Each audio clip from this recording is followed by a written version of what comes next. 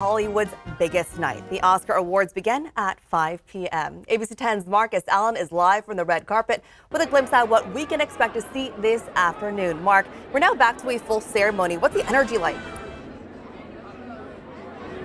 The energy is amazing. The industry is great to be back, and I apologize in advance if I start crying because you, sir, are the star of one of my favorite films of all time, not just the year. Thank you so much. For the people at home who don't know, introduce yourself. Hello, I'm Jude Hill, and I play Buddy in the new film Belfast. And you grabbed my phone a couple weeks ago out of my hand and took a selfie, and you posted and loved it. And thank you so much. Yeah, yeah thank you. So, how does it feel? You're at the creme de la creme, the biggest award ceremony, and you were on the red carpet. Well, I mean, this is my first time being here, so it's crazy. I'm trying to hide my because I'm really, really nervous and scared, but I'm so excited at the same time.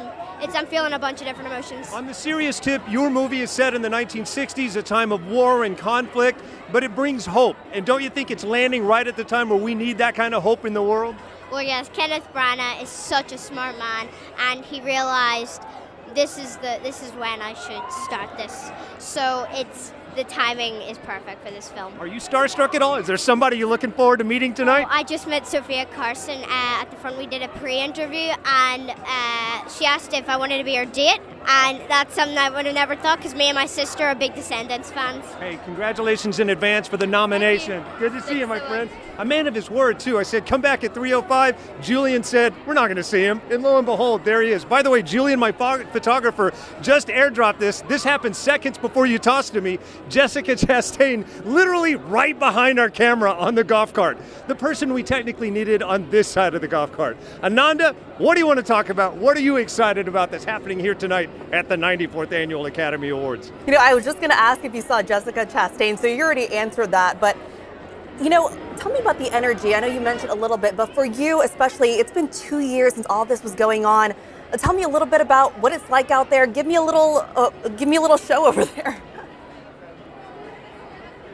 Well, I can tell you that typically this is 12, maybe 13 award shows down the line. This year, with the exception of my organization, the Critics' Choice Awards, a couple weeks ago, this is it. It's the only time. A lot of these people haven't been out that much, obviously, because of the pandemic. And I would say just the energy out here, whether it's this beautiful cameraman behind this camera, whether it's the people on the main stage that go around the corner, everybody up and down the food chain seems to be just really gracious and grateful that it's all taking place. Also, when you come come to me live like this, you never know what you're going to get. So sometimes it's about that moment, the kid from Belfast. Sometimes it's about the moment before, uh, Jessica Chastain on the wrong side of the camera. And then look at this, right over there on that stage, roll the video. Jamie Lee Curtis grabbed a cell phone out of someone's hand, started taking pictures with it, handed it back, and then breezed in. That was the absolute only stop she made on the red carpet as she came in. So, all kinds of surprises. I will tell you, I'm most excited about the three ladies hosting tonight. History being made in that way. I'll go ahead and lay a couple other predictions. Will Smith's going to win Best Actor tonight, a long time coming and way overdue. Uh, and in addition to that, uh, deaf actors. The percentage of deaf actors to have win this, won this award will double tonight. I guarantee you, Kotsur is going to win for Best Supporting Actor and that's the first time since 1986 or 87 with Marlee Matlin and Children of a Lesser God. So uh, right now, just look at the glam, the glory that is the Academy Awards. We're here live all night, uh, so be sure to dip back, back with us and do not move because this year's Oscars will be one people will be talking about a century from now. Back to you. All right, thank you so much, Mark. Well, coming up, Coda, King Richard, and West Side Story are three of the